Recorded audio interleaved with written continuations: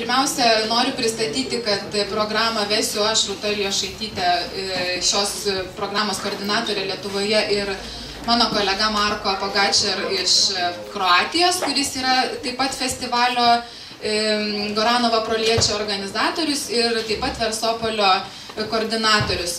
Ir pirmiausia, labai noriu padėkoti, kad mūsų renginį pagerbė kultūros ministrė Liana Rakytė Jonson. Labai Jums ačiū. So warm greetings uh, from the side of the Versopolis platform. We are very happy to have um, uh, Lithuanian Minister of Culture here with us and uh, warm regards to the Lithuanian institution who made all that possible.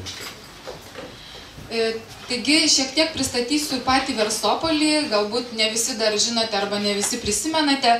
Tai yra poezijos platforma, kuri vyksta jau trejus metus ir visai neseniai, prieš mėnesį sužinojome, kad ši platforma bus pratesta dar ketveriems metams. Joje dalyvauja kol kas 11 lietuvių poetų ir e, iš tikrųjų turiu tik po vieną egzempliorių mūsų visų lietuvių poetų verstų knygelių į labai įvairias kalbas, į kroatų, slovenų, makedoniečių, į anglų, lenkų. Žodžiu, jeigu kas norėsite, tai prašau jas susirasti čia ir pasižiūrėti. Ir taip pat labai dėkoju mūsų knygelės dizaineriui Tomui Butkui, kurio galite pasimti ir šių metų, tai juodas knygelės, ir 16 ir 15 metų. E, taigi, šis projektas apima 13 šalių, na, o sekančiais metais dar prie mūsų prisijungs Ukraina, o dar po metų prisijungs ir Ispanijos festivalis, taigi bus iš viso 15 šalių ir 15 poezijos festivalių. Ir dabar prašysiu savo kolegos Marko tą patį pristatyti anglų kalbą. Um, I'm sorry, some of you are going to have to listen to this presentation twice, but what can we do? Um, so Vershopolis uh, is an international platform uh, for presentation and mobility of uh, uh, emerging poets. Uh, it was established and designed by uh, Slovenians, by uh, Belletrina Publishing House, and at this very moment it consists uh, of 15 partners from 15 European countries, uh, most of them members of the EU but not exclusively. We had a, a, festi a festival from Lviv, Ukraine, uh, recently joined. Um, there's uh, approximately 150 poets now in the so-called Versopolis pool, and every partner every year invites five of those poets to its very festival, and we publish uh, these nice little books, and uh, they're printed in 1,000 copies per book, and they're widely distributed for free. Uh, young poets, and not exclusively young poets, so uh, the conditions to be eligible for the Versopolis project is that you published your first book uh, no more than 20 years ago, and that you have no more than three books in translation. So it's not exclusively young poets. Uh, and so these very nice books are widely distributed, they're free, uh, poets really have a chance to get translated, to travel, and I think it's a project that is very uh, worthy to all of us. Taigi,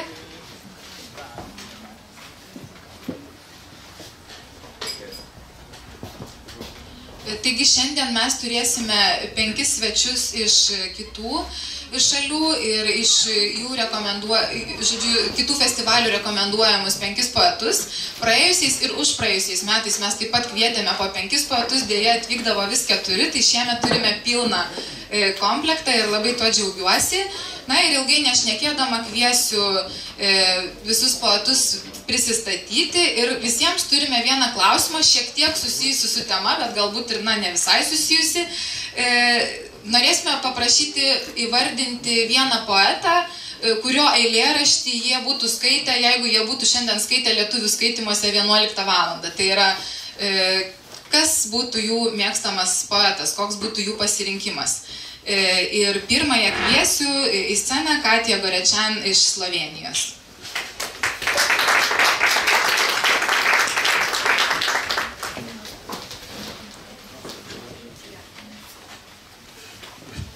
We have one question before you start, Katya, Okay. and it's about um, the kind of the formative poet and the poem for you. If you were about to choose one poem that would be your kind of poetic alma mater, what would it be?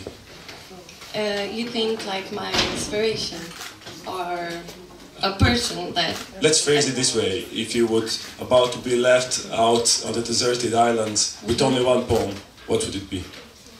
Uh, I think it would be a choreo poem by Afro-American feminist Ntozake Shange. It's uh, called for, for colored girls who have considered suicide when rainbow is enough. Yeah, so that's it. Thanks. I try to E, Ir dar vienas dalykas, e, mūsų visi poetai skaitys originalo kalbą, visi turite knygeles, taigi galite skaityti lietuviškai arba angliškai ir šį kartą nebus prezentacijos už nugaras.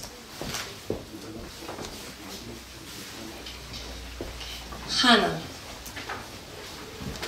Hana je pesnica, oziroma hoče postati. Oziroma mora počakati, da jo ostali potrdijo. Išče svoj glas, seveda, kdo ga pa ne. Hana išče svoj glas tako, da pošilja vsem po večini nadutim pesnikom svoje pesmi. Hana seveda pošilja tudi na natečaje, čeprav jo vsako leto znova in znova pozabijo. Ona še vedno rada piše, čeprav nima pojma, kaj bo v naslednjih letih sploh naredila iz sebe. Ampak ve, da nočem velike družinske hiše, perfektnega moškega, niti redne službe, ki jo bo nekoč morda morala imeti. Hanna je trenutno stara 21 let, čeprav ji v vsaki trgovini še vedno rečejo za osebni dokument, ko si kupuje cigarete. Brez cigaret ne more preživeti dneva. Nohte si je pogrizla tako globoko, da se na njenih rokah vidijo krvavi madeži. Sploh ne deluje živčno, ampak je v stalnem čakanju, čeprav ne ve točno kaj ali koga čaka. Pojdimo naprej. Sorry, I just read all of my poems and who reads the translations? Okay, okay, okay. Um, can I read this one in uh, English? Okay. This one is my favorite one, and it's dedicated to Slovenian uh, male poets. Hannah and poetry, Hannah is fed up. As for poetry, Hannah would prefer to stay silent, but I can't. She started hiding and burying her poems in the ground for them to maybe someday be discovered. As for poetry, Hannah would prefer to scream. What she loves becomes disgusting in these parts. Hannah will never say what she's thinking because that would end her career as a poet. Hannah thinks, but she won't admit. Hannah wants to read her poems. Hannah wants to publish a book, but Hannah will never succeed because Hannah is not a typical poet.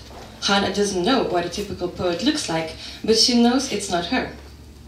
And most importantly, Hannah has no connections. Hannah has had enough.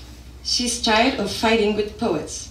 Why, she would, why should she have to fight for her poetry?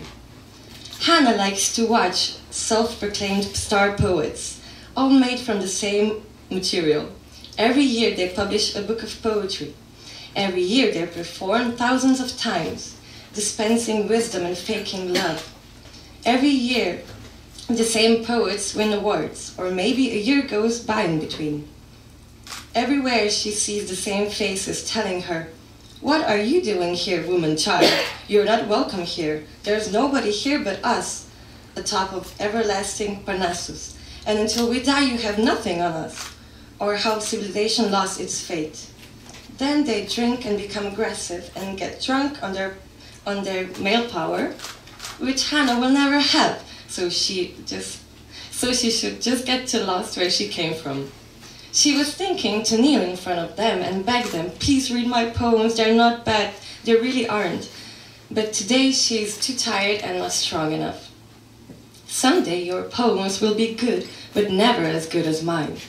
Hannah won't stop writing, but she, she will, will simply become apathic to all the meltdowns and punches.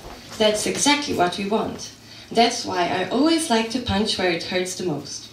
And this is the point at which Hannah divides poets between two cate categories the ones that stay human and the ones that become beasts. Thank you.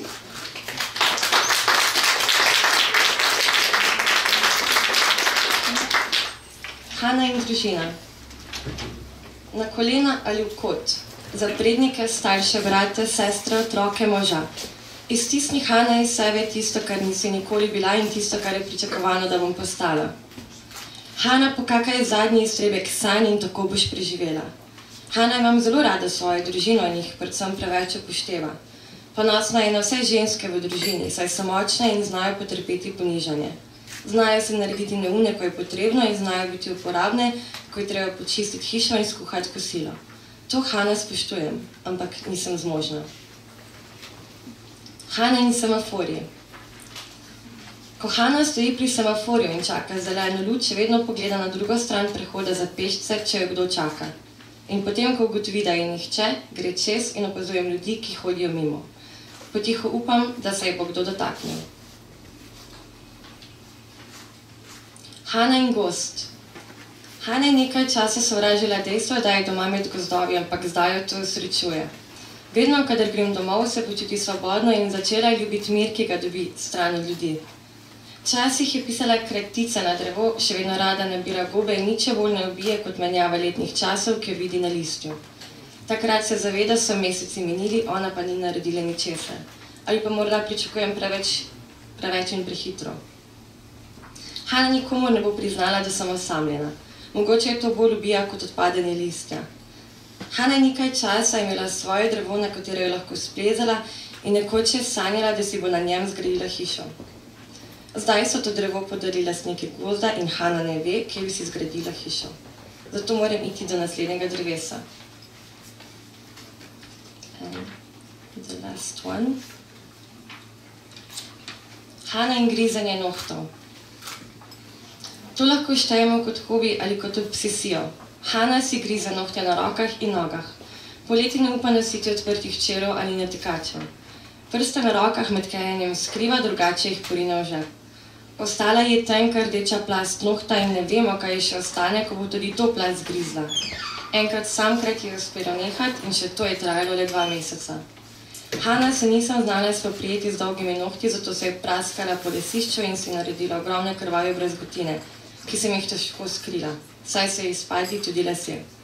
Okay. That's it. Yeah.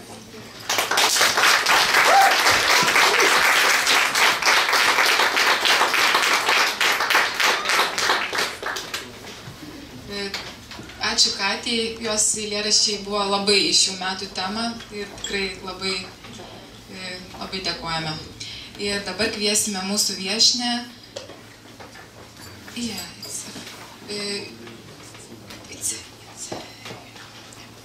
dabar kviesime mūsų viešinę Afroditą iš Makedonijos, kuri šiuo metu gyvena ir studijuoja Cambridge'e.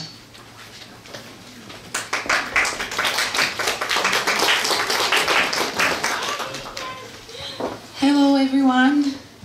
Hey, how's it going? Okay, are you serious? okay, glad, glad I have that. Okay, thank you. I'm not embarrassed now. okay, um, Fredita, uh, uh, the question is the same. Do I have to repeat it or about the, repeat it, please. about the about the poem? What poem? What's my. Yeah. Just say the question. okay, uh, if you would have to choose one poem like that is means like something special to you that was formative for you, like poetically, personally, emotionally. Okay, um, well, the first poem that comes to mind uh, is a poem by uh, my former creative writing teacher, uh, the po- American poet Sean Thomas Dougherty, uh, and it's called All I Ask For Is Longing. So it's from the book Broken Hallelujah. So go buy it, find it, read it. Um, okay, so you probably haven't heard of it, um, so you can't know what's formative. Anyway, um, thank you so much for inviting me. I'm really excited about the platform, um, Versopolis, and um, uh, I will read the poems, uh, but I just wanted to say. Uh, I like acknowledge the translator who did the poems in Lithuanian. Um, it's written here. Yeah. How do you pronounce it? Laima Masita. Laima Um, and uh, I translated my own poems in English, and it took um, uh, editing and stuff. And as you may see in the um, booklet, uh, it has acknowledgements here for the proofreading and for the editing. But unfortunately, somewhere along the process, the very older version of the English translation ended up in the booklet. So I made a copy of the um, last version of the translations that is actually proofread. Um, so these copies are on that table, and Elias can pass it around on the tables if you want to have a look of what the actual version of the poetry is. And I could read some of them in English, so you don't have to worry as much about it. But um,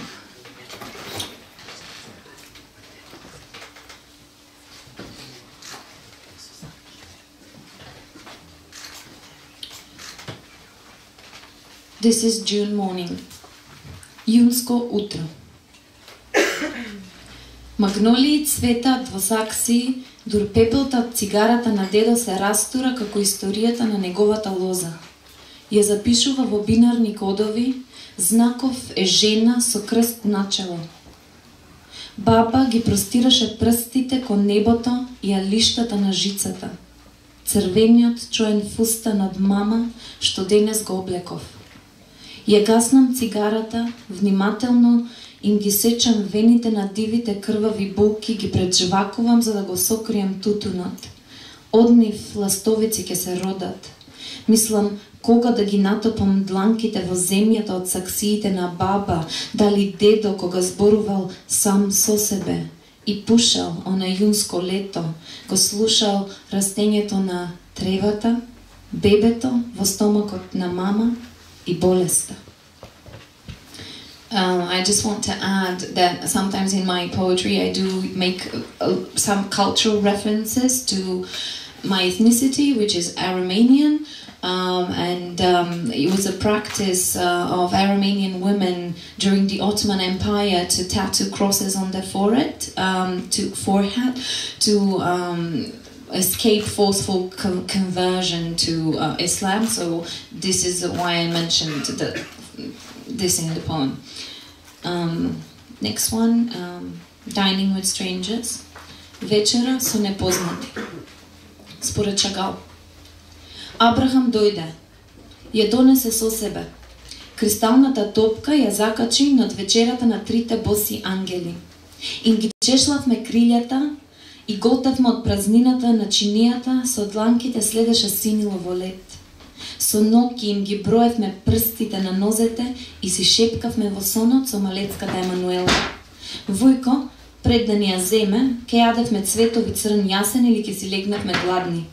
Но во Библијата, гледаше во дзидот, овде се без раце, голи, рече ја однесе сликата на аукција.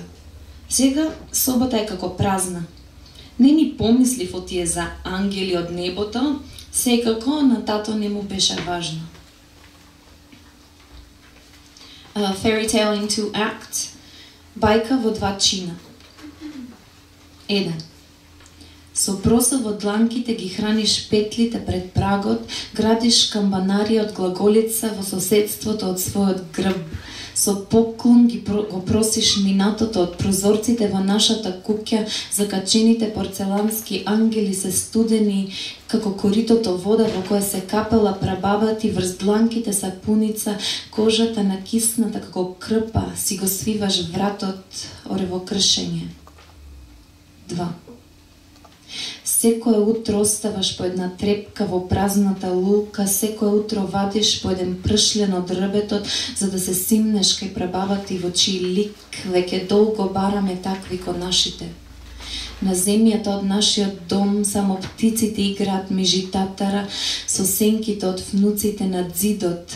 Од време на време доаѓа духот од бабати со метлата врака, ги турка во утроба од виолина. Гудалото го има заклучено секое наше чкрипење и тишината од неизината празна надказна. Um, this one, before the city falls asleep, пред да заспие градот. And I think for this one, it's interesting to know that um, the in Macedonian folklore, which I'm sure in Balkan is in general, like we have this like um, villainous uh, fairy tale, and we call it samovila. So there's a reference to it. Пред да заспие градот. Тагата на самовилата е полниот орев што го бараш во чинијата за среќа наредната година.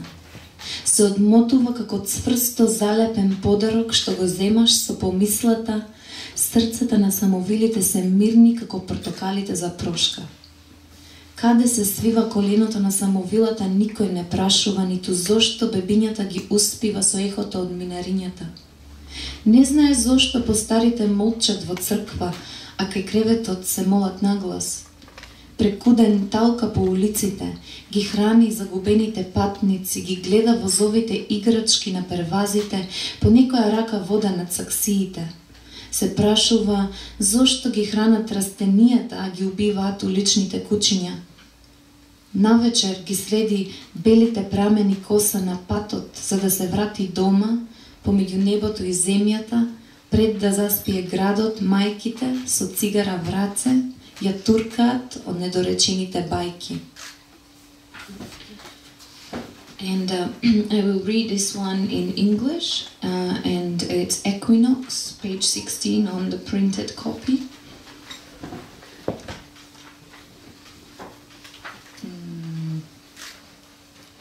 15.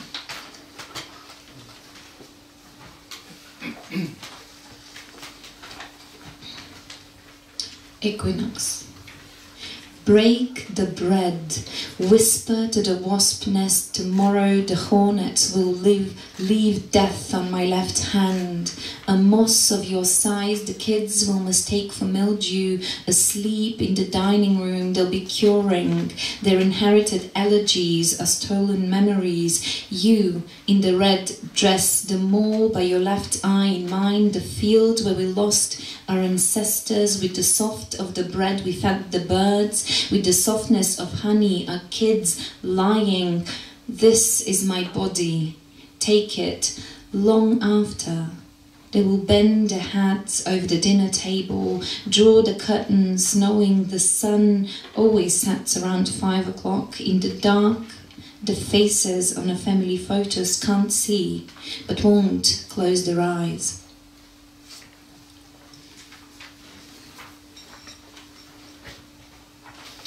Um, and this one uh, is um, in the gusts of wind. Во налетот на ветрот. Еве го огледалото што го бараш. Ова парче стакло во кое се огледува нашиот Бог. Прости ми, ке речеш во себе пред мостот мравки во срцето на честакот. Погледни, сенката од кукичката на полжавот го крие белегот на тревата по кој се разликува од недопреното стебло. Види, мајчина душичка, Може би кај цветов сребрените патеки се невидливи за голо око, но сонцето ми ги вдлабнува во дланките како седе в украсна рамка од огледала.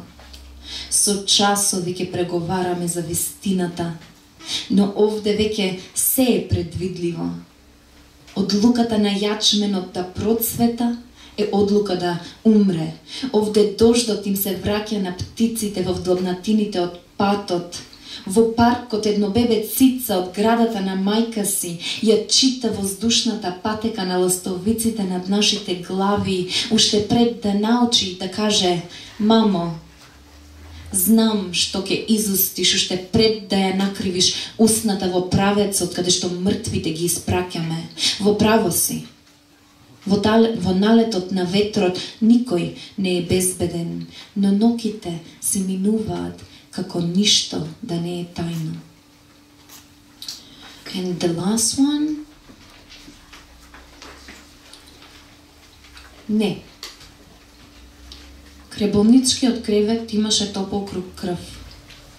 Чело врз незиното чело, дланка врз незината дланка, песната на радиото на Исходникот, заборавените бабушки во собата, со известување на вратата, посетители после пет, се изјапа во кирилицата од чоколадните кутии, саксиите со магнолии на терасите, мокри далишта испружени на жиците и светкавите антени на високите покреви, одвај може да ја топлината што некогаш се имаше во утробата.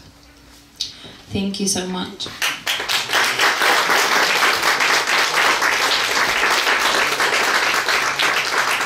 ačiū labai Afroditai ir e, nepristačiau vertėjus e, į lietuvių kalbą, tai Katė Gorečian ir Afrodita Nikolova vertė Laima Masytė, dėja negalėjo dalyvauti festivalyje. Na ir dabar noriu kviesti mūsų viešinę Hannah Lau iš Junktinės karalystės ir jos eilėraščius vertė Dominikas Norkūnas.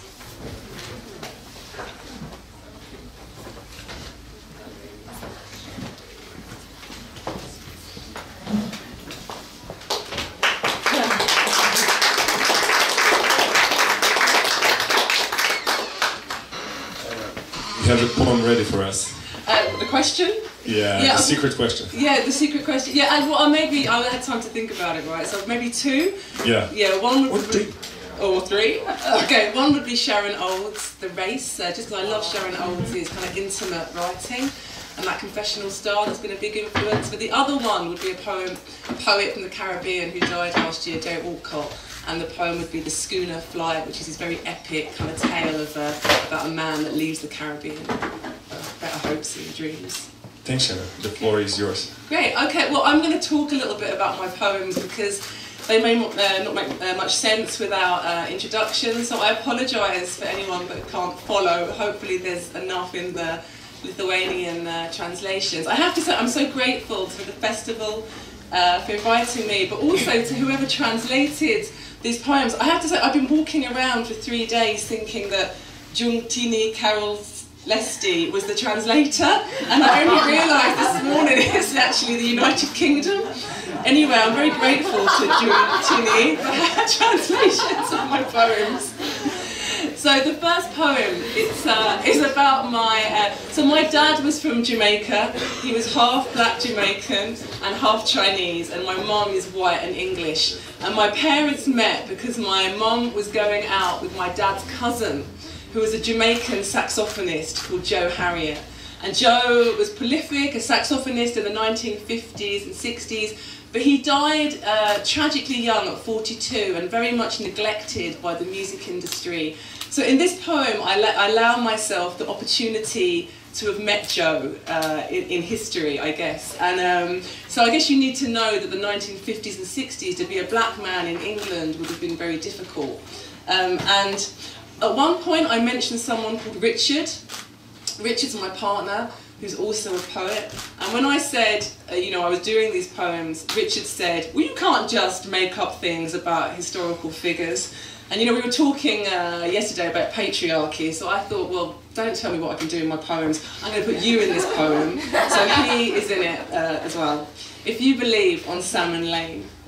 If you believe I saw Joe Harriott play in 1956 and in my good blue dress danced all night in that basement dive below Gerrard Street, Joe howling through his sax, white shirt, sweat soaked and gleaming in the spotlight, you may as well believe anything I dream on listening to his music, the way he smelt up close say, the cigarettes and cloves, when we took a corner table at the new friends on Salmon Lane, gnawing the ribs he loved, and in between chews just talking to me in that fatherly way he had. You may as well believe that sometimes I put his records on and just start crying and can't stop crying, don't even know what I'm crying for those decades in history when men like Joe and my father were shadows on English streets, or just the way a melody can get you. I walk the small rooms of my flat, light spilling through the sky tops, the treetops just in sight through the glass, and even with all these tears, I'm sort of happy. Richard says, be careful what you do in poems to real people, known people. But surely this poem shows it seems enough to let me wish that Joe didn't start dying so young at gigs he couldn't even stand up straight to play, that men he used to jam with didn't see his broken body shuffling down the streets and turn away. And those last morphine days, the dog he saw barking at the window of the third floor ward really wasn't there well, how could it be if Joe and me just stepped from the club into this winter night, heading arm in arm down Brewer Street to order steaming bowls of wonton soup? Uh, the next poem is in my mum's voice. So when I uh, wanted to know more about Joe Harriott, I talked to my mum, uh, and uh, I don't think Joe was a very good boyfriend. Uh, in fact, someone said about Joe Harriott that um, if saxophonists had been developed from amoeba millions of years ago, that's what Joe was. He wasn't really a person, meaning that he like was a brilliant musician, quite a good uh, drinker, and a lousy uh, boyfriend. So when my mum talks about Joe, she often swears, and uh, sometimes she breaks into song as well. So uh, uh, you also, I guess, you need to know that when I say mum in the poem, I mean my grandmother. And um, my grandmother was, there's no other way to say it, was a, a racist, and she was very disapproving of my mum going out with Joe and with my dad. So she features in the poem as well. Cherokee. He phoned me up, a party, would I go? My mum said, Joe, who's Joe? A darkie? No, not on your Nelly lady. No, you won't you. Peach lipstick, lacquered beehive, tweed mist perfume. I took the bus, and course there was no party, just a room with whiskey glasses on the bedside and fag ash on the tangled sheets at dawn. Old Joe could play an ace, the Aki Blues and Cherokee. Da da da da da. He put his sax in hock to pay the rent, said, Betty, can you help me? Had a pound off me on Sunday nights. He had it bad. He'd not been with another girl in weeks. And no, my mother didn't sleep a wink. She sobbed into her mixing bowl. Then off we went to Auntie Connie's caravan. He wore his suit and wingtips on the dunes. He said he loved me in the spinning teacups, then vanished in the night. Oh, you knew a tune, that bastard arsehole drunk. You'll never know. And Cherokee, da da da da da da da da da. And no, I couldn't bring him home for Christmas. Not over my dead body, lady. No. He came with flick knife smile and lilac bath cubes. And oh, she sobbed into her mixing bowl. My father walked into the tube, came home and stank of whiskey, said, he's just like any other fella, ain't he, Betty? Ain't he? So in the the next poem, what I know, uh, I suppose I take on the voice of a man like my father, who came from Jamaica to uh, Britain um, in the late 1940s, and I use the metaphor of like throwing dice, uh, kind of metaphor as gambling for migration, like the idea of like chucking in a hand of cards and picking up a new hand, in a way. And so each stanza of the poem it's about the thought of leaving, the decision to leave, the journey, and then arriving in a quite a hostile Britain uh, in, the 19, in the late 1940s. And the form is a glossa, which some of you may uh, be familiar with or write yourselves, which it means it takes four lines from another poem and uses them as a structure. Each line of the stanza finishes with uh, the line of the, the poem that I borrowed from, and the poem is the Theodore Roethke poem, The Waking. So I'll read those lines first. Um, this shaking keeps me steady, I should know. What falls away is always and is near. I wake to sleep and take my waking slow. I learn by going where I have to go. At night you'll find me at the oil lamp, dice in hand. I say to myself, if I throw a pair of fives, I'll give up this life. The hot, slow days of hurricanes, sweet reek of banana rot, black fruit on the vine. I want another hand of chances. I grip the dice and blow a gust of luck into my fist. I'm dreaming of England, yes, work, yes, women, riches. I shake these bone cubes hard, let go. This shaking keeps me steady, I should know. The radio fizzes news across the tenement yard. Dazed soldiers sailing home, a weekend parade, monsoon time coming. I pass dead horses in the field, dead mules. Men sag like slack suits in the square. Talk of leaving starks like rain, slow and spare, a rattle in a can. My tears aren't for the ship, new places, strange people, but the loss of my always faces, I mean my people, who I know. My sister says, you carry them with you, don't fear. What falls away is always and is near. The ship rocks steady across the ocean. You ever look out to sea, and on every side is sky and water, too much, too blue, Thoughts lap at me like waves against the bow, not where I am, but why and who. At night we use our hours up. Ten fellows flock to someone's sticky room. I roll the dice or deal for chemmy, brag pontoon. We go till dawn. I huddle at the lamp turned low. I wake to sleep and take my waking slow. Some fellows swore there were diamonds on these streets. Look hard enough in rain and you'll see them. I squint my eyes, but what I see is sunshine on the dock. My, my mother's white gloves waving me goodbye. There's no diamonds here, or if there are, they're under this skin of snow. Seems the whole world's gone white. I roll my dice in basements below these English pavements. I guess I'm learning what I need to know. I learn by going where I have to go. Um, I'm going to skip a poem because my poems are long, so we're going to move over one. I'm going to read two more. Uh, so I'm going to read the poem My Father's Notebook. And um, uh, so after my dad died when I, uh, when I was in my early 20s, some years later I found a notebook that he had written about his early life growing up in Jamaica. And I think as a child, you know, I knew I had a Chinese grandfather in Jamaica, but I kind of thought like my Chinese grandfather had just made a wrong turning somewhere on his way somewhere else and had ended up in Jamaica. Like I didn't realise there was like a, like a big Chinese community. And my grandfather, so Lo, the name is a Chinese name, my surname.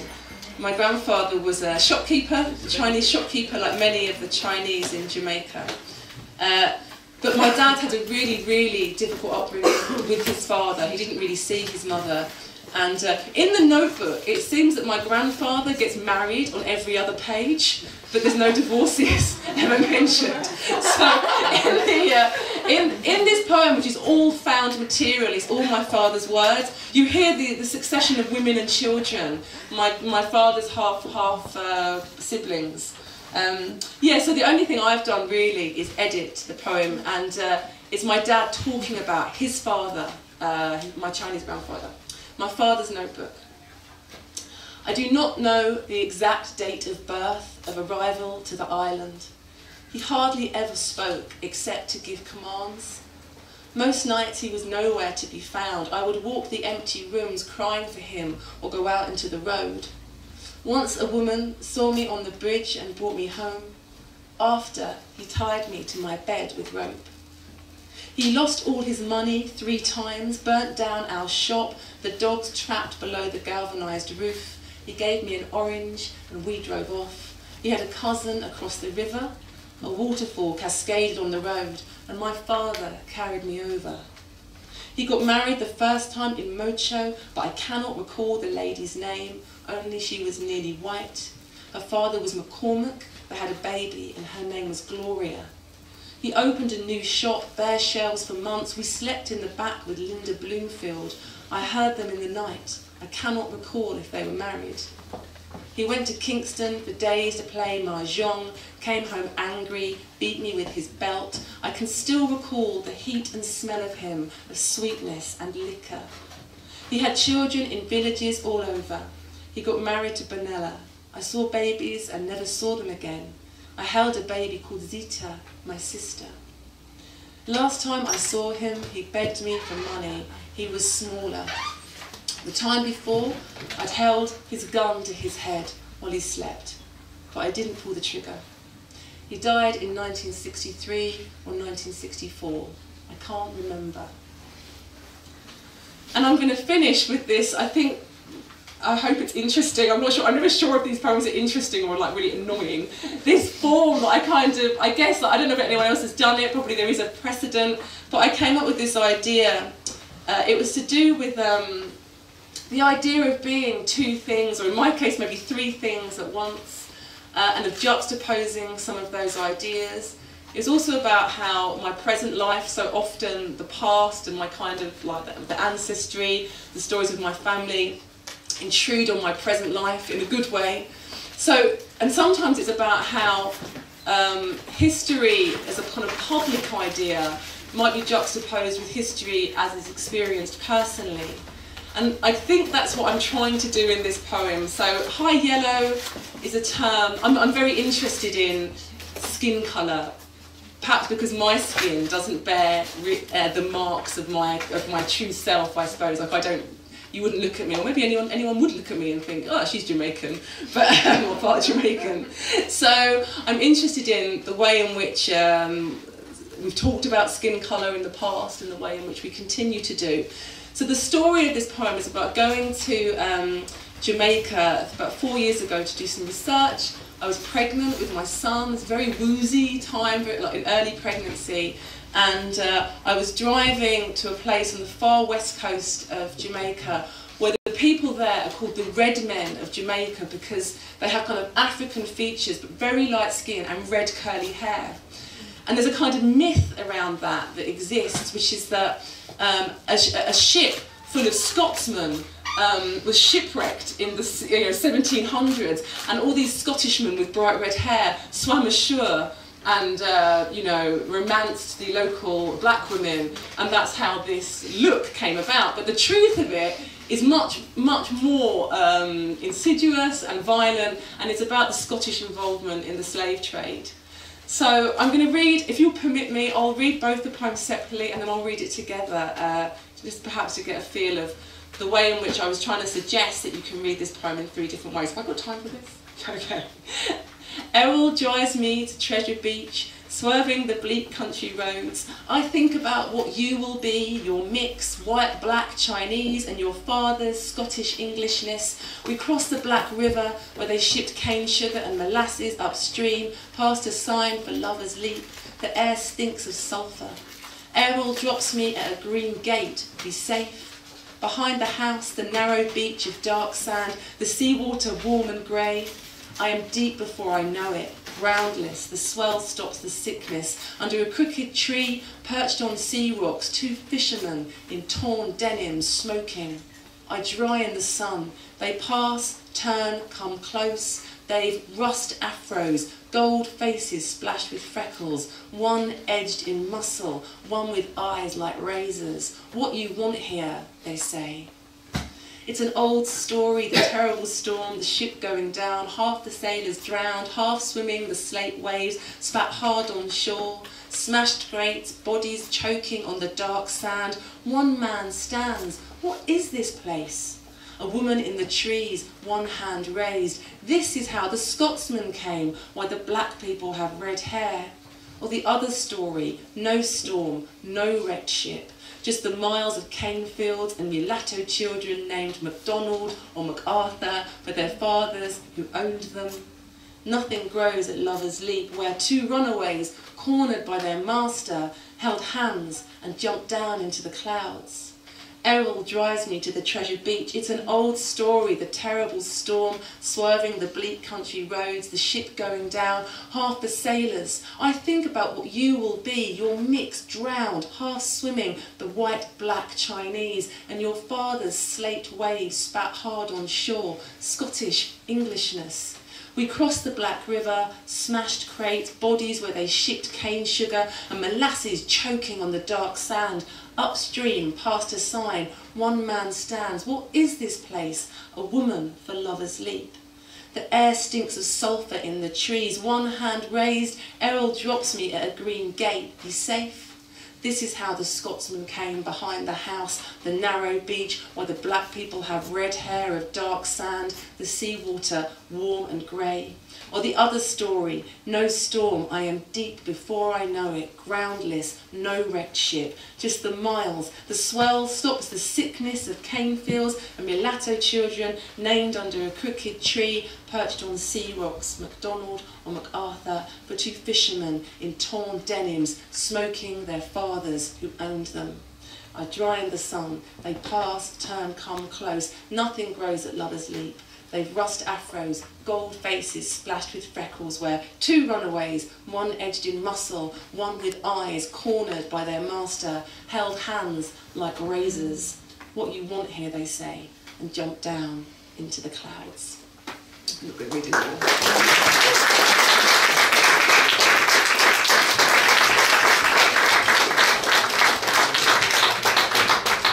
Ačiū Hanai ir ačiū vertėjui Dominykui Norkūnui. E, ir dabar kviesiu mūsų artimiausią viešinę, e, Barbara Klicka iš e, Bašuvas. Ja lydi jos vertėjas Vytas Dekšnys.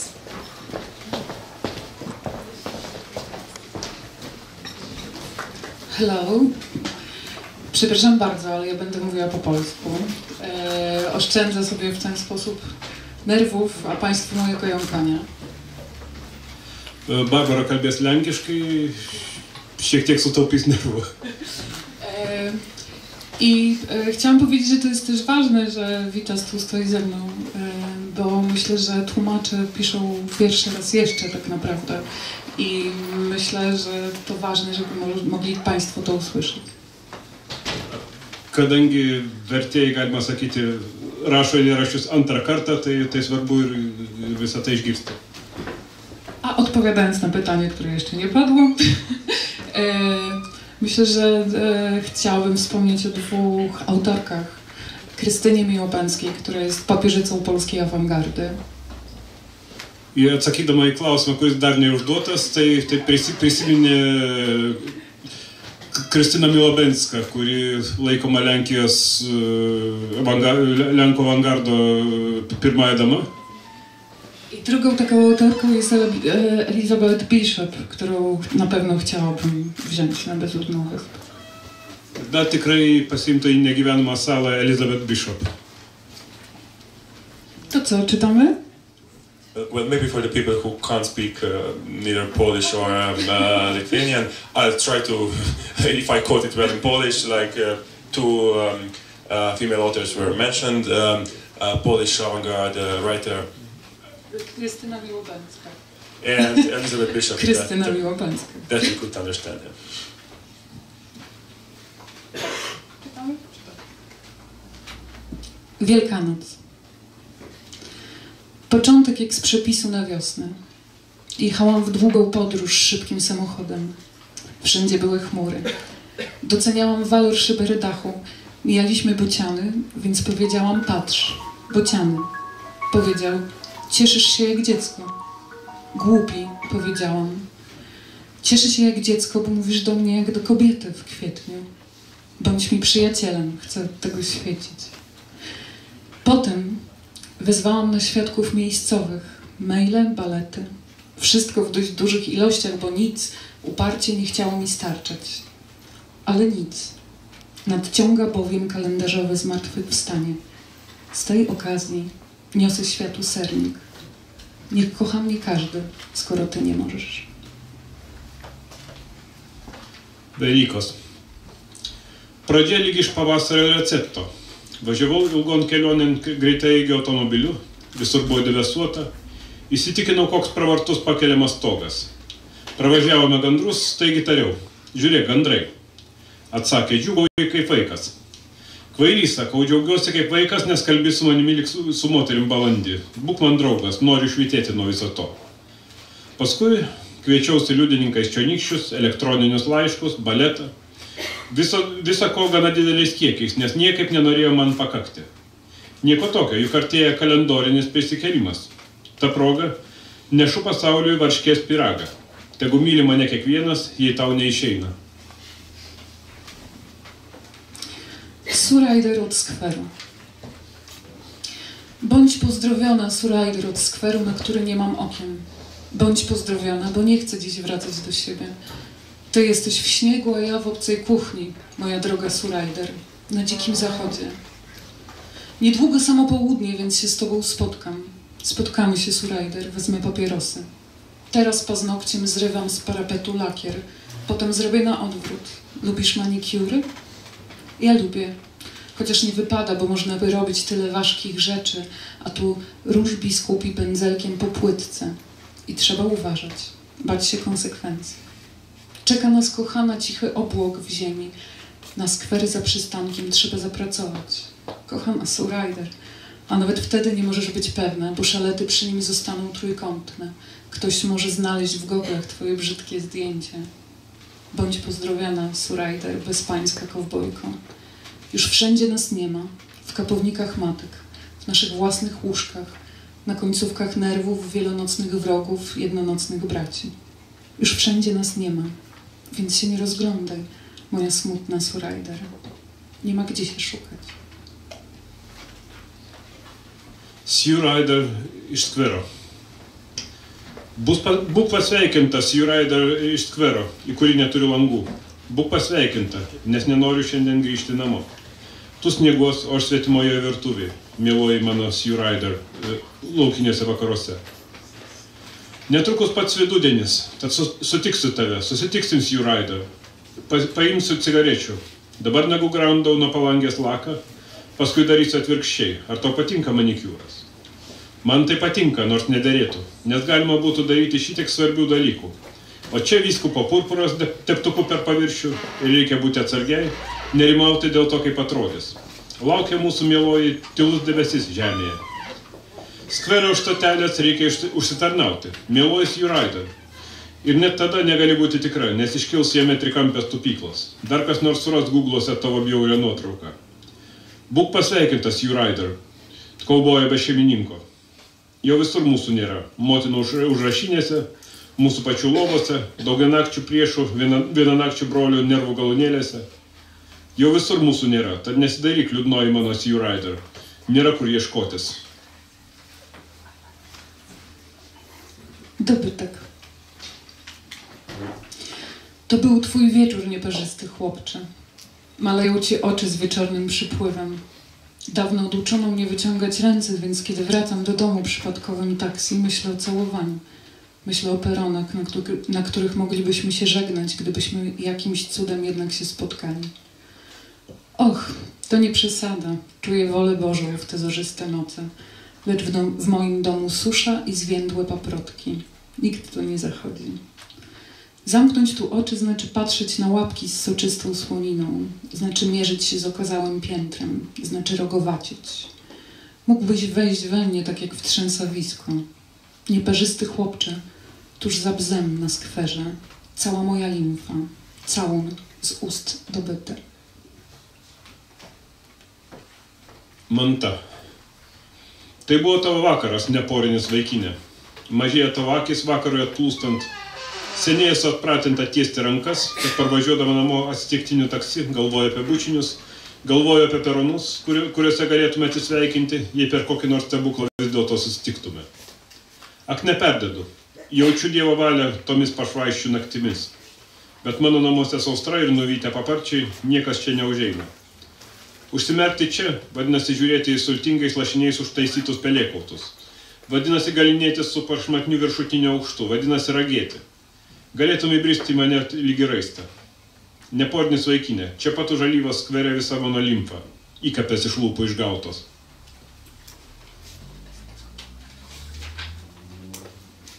Lokus fokus.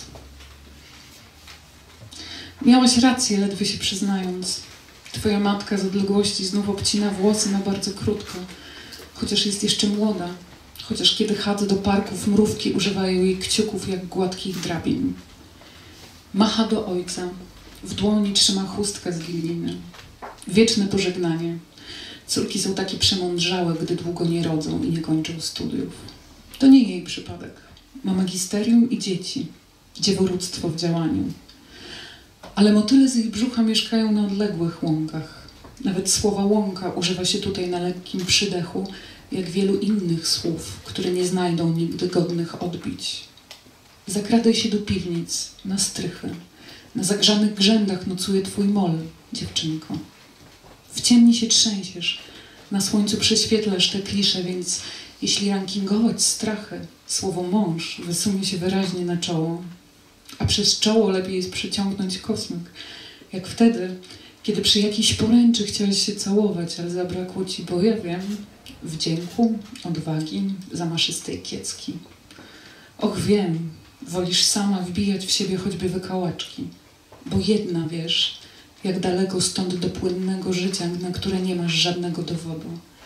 I chociaż zakładam, że kłamiesz, ty kłamiesz. W jakimś letnim parku, na ławce w półcieniach, grzebiesz sobie w oku zakażoną drzazgą i nic się nie zmienia.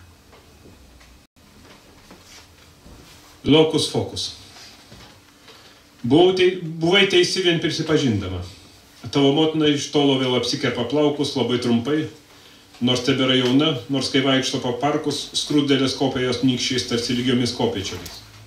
Mojoje tėvui lank, rankoje laiko ilginino nosnė. Amžinas atsisveikinimas. Dukros pasidaro tokios gudreivos, kai, kai ilgai negimdo ir nebaigia studijų. Tai ne jos atvejais. Ji baigė magistrą ir turi vaikų, tikrai įsikūnijus nekaltai pradėtoji. Bet jos pilvo draugeliai gyvena tolimuose pievose. Net žodis pieva čia tariamas šiek tiek aspiruojant, kaip daugelis žodžių, kurie niekad neįgis tinkamo atspindžių.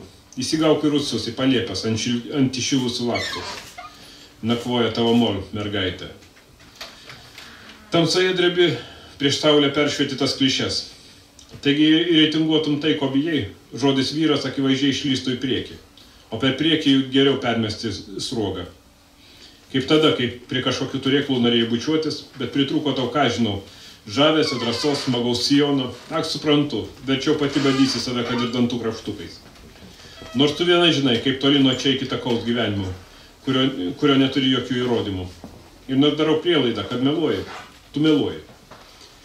Kokiame nors parke vasarą ant solelio pusiau šešėliuose krapštaisi akį už, užkrėsta rakštim ir niekas nesikeičia.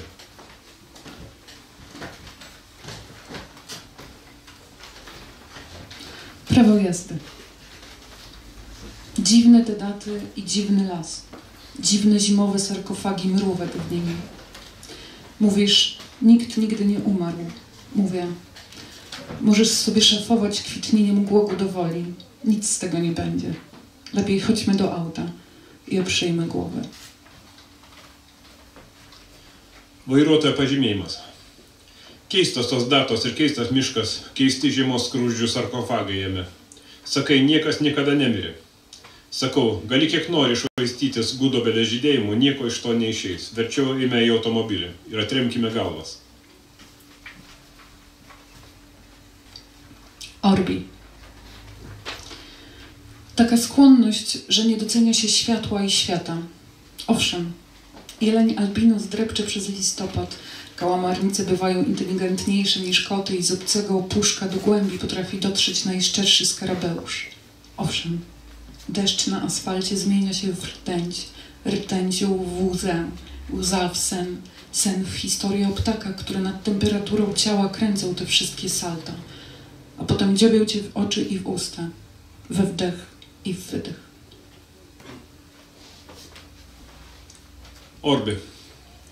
Toks polinkis, kai negana vertinama šviesa ir pasaulis. Žinoma, elnės albinosas trepsi per lapkritį, kalmarai būna protingesni už kates ir nuo svetimo piršto galiuko iki pat gelmių geba pasiekti tikriausias skarabėjas. Žinoma, lietus ant asfalto virsta gyvsidabriu. Gyvsidabris ašara, ašara sapnų. Sapnas pasakojama apie paukščius, viršum kūno temperatūros sukančius tos visus e, salto. O paskui jie kerta tau į akis ir į lūpas, įkvėpimą ir iškvėpimą.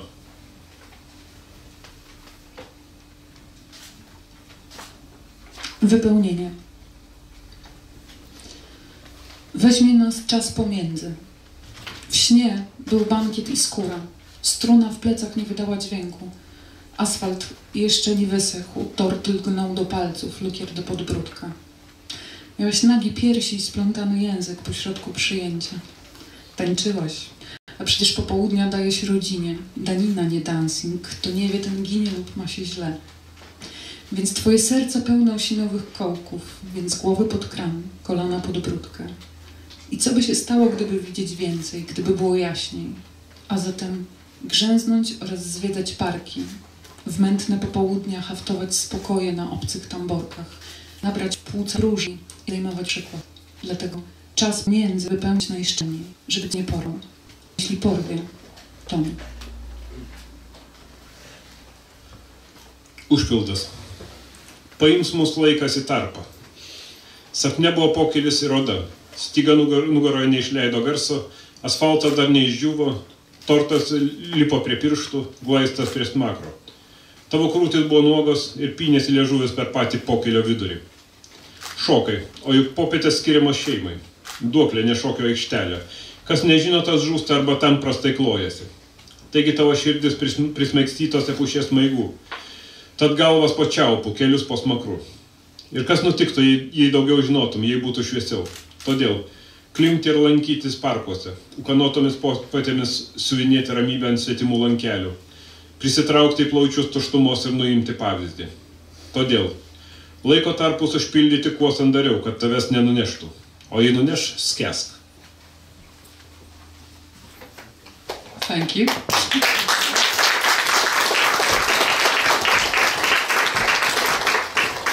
Ačiū Barbarai.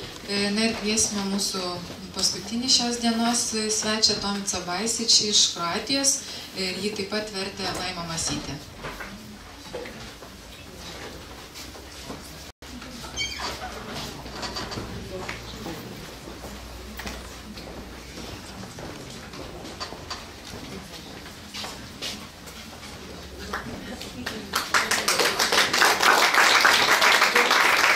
Tomica, you already know the drill. I'm sure you have the poem ready.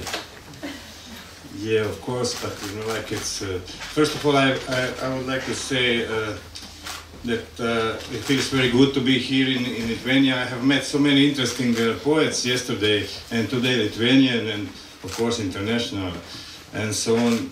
And thank uh, my first thanks to the translators for their job. And about this poem, so it would be very unfair, you know, to cite one poem, but I it was encountered čekajući na red da to upozna.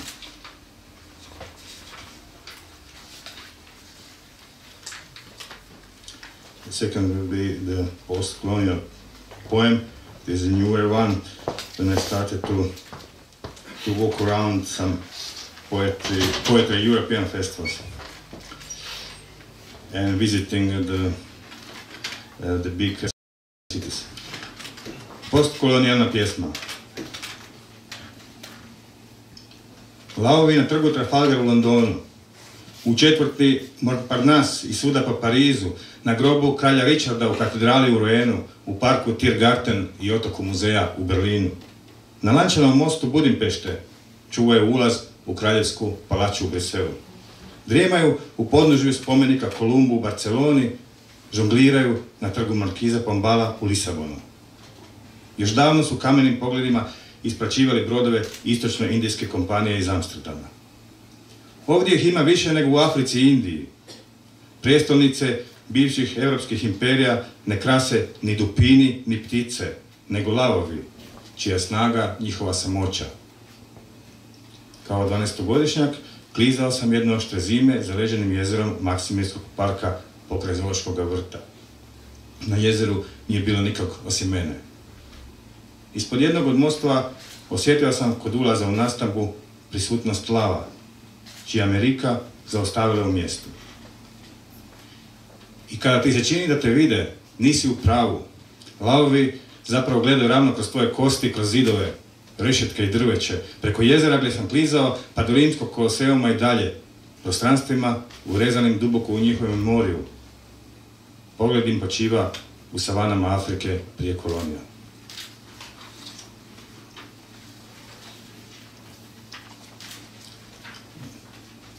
The Dictators. Diktatori. Diktatori defiliraju poput figurica u mehaničkom cirkusu. Taj vrtuljak ne pokreće električna ili neka druga umjetna energija, pokreće ga naša volja ili nedostatak volje. Budu svrgnuti od zamora materijala ili od sebi sličnih, budu pojedeni, ubiju se ili žive mirnu starost. Ali naša ih pohlepa reciklira, utjelovljeni su promašenim nadama naših mladosti.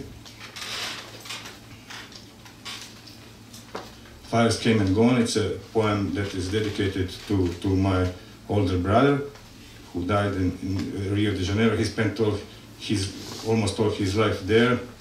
And it is also the poem who is de dedicated to all immigrants because we are, we are a country of immigrants. Every fourth Croatian lives abroad on far sides of the road. Vatre su došle i otišle. Bratu Vladimiru, koji s majkom kao petogodišnjak otplovio za Brazil i nikada se više nije vratio u Zagreb. Povici i reski glasovi nestaju u tišini pepela izgorjeloga drveća. Došla je kiša, ali zaborava nijotkud. U zamasima, poput klatna, tupa svjetlost boli. Vatre su došle i otišle. Ali vratit će se, poput mora koje ne može zaboraviti svoje obale. Ležao sam na balkonu, u mreži na spavanje i drijemao. Negdje ulicom prošao je kamion muklo odzvanjajući po rupama. Zazvučalo je kao da zazidane duše lupaju s druge strane. Naglo sam otvorio oči. Pokopali smo mog brata u Rio de Janeiro na groblju San Bento. Nakon što sam položio kovčeg u rupu, u zidu djelatnih groblja je u nekoliko vještih poteza špahtom zacementirao pukotine. Pitao sam ga pod kojim se brojem vodi ta gaveta, a nije mi odgovorio. Drugi djelatnik je prišao i krenuo na ploči podebljao broj. 21, rekao je. 21, rekao sam svim ostalima iza sebe, gledajući oštra crna brda kišnih šuma planinskog lanca Orgulja, gdje pod konkavnim nebom megalopolisa dišu milioni duša, od kojih mnogi nemaju ni imena, ni broja, kao svog postojanja. I sjetio sam trenutno slabost u koljenima i pomislio je ipak kako neka stabla, kada izgore, postaju hlad zemlje, nestaju u sjeni, no ima ih koji nakon što izgore, ostaju s nama uvijek, jer ljubav koju su imali ostaje žeravica koja se nikako ne da ugasiti. The Man Fell on the Street uh, from Black, from Red uh, Plague, it's a poem uh, that I wrote after the war. I tried to, to bring my family, my children, small children, my wife to Brazil and to build a house with my brother who had also three children and to, to live this post-apocalyptic, post-war society and to cut the ropes with Homeland. But I didn't make it because my brother's son got sick and they went to Minas Gerais, to inland, and so it, it, it haven't worked. Čovjek je pao na ulici od crvene kuge. Ivana, sagradit ću ti kuću od pigmentiranog brazilskog drva. To je drvo koje ne gubi borbu s vremenom. Kuću bez tvrdih kutova u jednoj staroj luci iz doba zlatne groznice. U potrezi zlatom sve je dozvoljeno. To je mala kolonijalna luka s tri crkve. Jedna je crkva crnih grobova, druga slobodnih mulata, a treća je crkva bijelih zemljoposjednika. Ime te luka je Parači. Ulazna vrata će biti takva da kroz njih ne prolazi prošlost. Zidovi će biti obloženi knjigama, samo vrijednim knjigama, tisućama knjiga. Biće to knjigi Melila, Konrada Stevensona i ostalih ukorilih pustolova. Sagradit ćete od drva kojeg ne može izgresti sol i otvrdnuti sunce. To će biti kuća sa dugačkim istočnim prozorima, koji će se otvarati na brde šume i parni vlak koji vodi rudnicima, a sa zapadne strane turbinom ćeš vidjeti francusku utvrdu napravljenu za obranu od pirata i prolaz kojim se ide, između otoka. Jest ćemo velike ribe ulovljene u moru, jedan na jedan. Tvoj život će biti lak. Toliko lak da će ti oči postati bistri smaragdi koji umjesto šumskih jagoda rastu pod humusom Mato Grossa. Da, prozori će uvijek biti otvoreni i zastori će putovati hodnicima. Bijeli, poput haljena stari bajanki koje šapuću kandombl. A u stropu će probiti staklenu rupu i djeca će sanjati duboke snove po tim južnim križem. And the last poem uh, in the booklet, it's also from the old, it's like uh, we have gathered together all again. It's like it's a poem of my reconnaissance unit in the war. Small unit, many of these people haven't survived the war. Some of them I have never seen again. Some had very strange destinies. But it's like I caught this fragment in time, like to to have their existences placed in this poem. Našli smo se opet svi zajedno. U snu mi je došlo da smo se našli opet svi zajedno za dugačkim drvenim stolom, postavljenim negdje u pustoši, u planini, za bijelim drvenim stolom s kariranim stolnjakom crvenih šara. Oko nas visela visoka trava. Sjedimo tihi, koncentrirani, prozirane limunove cvjetove koje lebde muklim sibenskim nebom. Padaju u čaše iz kojih pijemo. Padaju se za blato naših uniformi klize, niz led našeg oružja. Nestaju travi, oštrih sunčevih bridva, prepletene oko naših čizama starih nekoliko tisuća godina. Neki od nas piju čisto je miješan vino s radenskom nabijenom mineralima, kvarcnim kristalima, hučićim vodopadima. Neki u vino doljevaju običnu vodu, na stolu je vrč, koji se puni na bunaru, vodom bistrom, poput zraka koji nas okružuje, kroz čiju prazninu vidim raspukline u snjegovima, koji se tope na najudaljenijim vrhovima crnih staklenih planina. Gledajući odavde, sasvim je očito da je zemlja okrugla. Slani vjetar koji se noću digao s mora, šulja se plošno površinama nevidljivim labrintima, s namjerom da iznad njemačkog ovčara, graničara neprijateljske patrole, zaspalog u sjeni jedinog na visoravni. Nikome od nas nije previše stalo do pasa.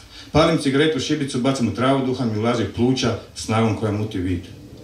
Sjedimo bez riječi, pod noga nam negdje duboko pod zemljom ključa lava budućih vulkana.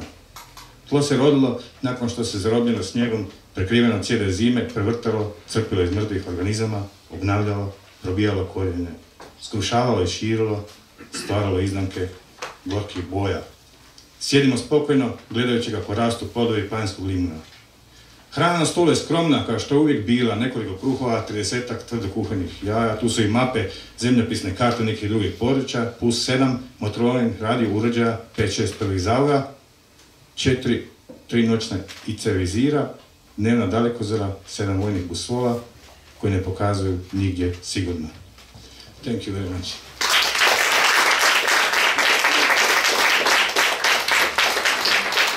Ačiū labai Tomicai, ačiū visiems mūsų šios dienos skaitytojams ir mes čia su Marku padarėm tokį nedidelį tyrimą, jeigu teisingai suskaičiavom, iš septynių įkvėpėjų buvo keturios moteris, poetės. Sveiki. Yeah, Ruth and me, uh, been uh, leading uh, little statistics. Um, I think, uh, if I'm not wrong, uh, uh, seven poets were mentioned, seven poems, four of which were women and oh, three were men. So, kind of in accordance to the theme of the, this year's edition of the festival, it seems that women are winning. Thank you. Neišsilakstyti, nes bus lietuvių skaitimai, e, skaito savi veda svetimi.